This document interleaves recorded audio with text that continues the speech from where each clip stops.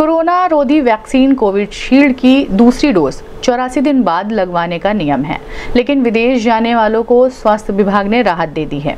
वे 28 दिन बाद ही दूसरी डोज लगवा सकते हैं। हालाँकि यात्रा की पूरी जानकारी स्वास्थ्य विभाग को देनी होगी। विभाग उसे पोर्टल पर अपलोड करेगा, उसके बाद ही दूसरी डोज लगाई जाएगी। इस संबंध में सीएमओ डॉक्टर सुधाकर पांडे ने बताया कि कोविड टीकाकरण की शुरुआत हुई तो कोविशील्ड की दूसरी डोज 28वें दिन ही दी जाती थी। इसके बाद 46 दिन और फिर चौरासी दिन का मानक तय कर दिया गया।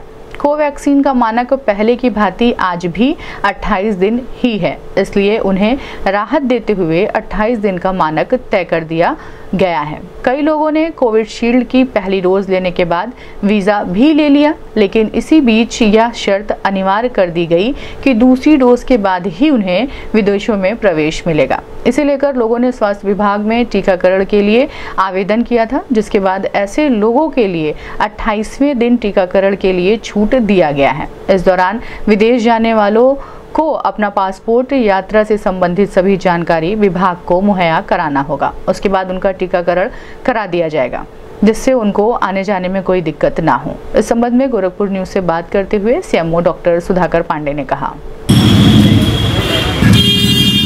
हाँ विदेश जाने वाले जो लोग बाहर की तरफ़ जा रहे हैं आ, उनके लिए सुविधाएँ प्रदान किए गए हैं क्योंकि वो कोवैक्सीन जो है 28 दिन बाद लग रहा है तो उसके लिए कोई दिक्कत नहीं है। लेकिन जो जिन्होंने ने को कोविशील्ड लगा रखी है तो उसका डोज सेकेंड डोज की तीन महीने बाद का आता है। तो लोगों को सुविधा हो रही थी इसलिए सरकार ने निर्णय लिया है कि 28 दिन बाद कोविशील्ड का भी डोज जो है जिन विदेश जाने वाले लोग हैं वो ले सकते हैं। तो उसके लिए वो अपना पासपोर्ट और वैलिड प्रमाण पत्र दिखाएँगे कहाँ जा रहे हैं और क्यों जा रहे हैं किस लिए जा रहे हैं, कब जाना है उनको।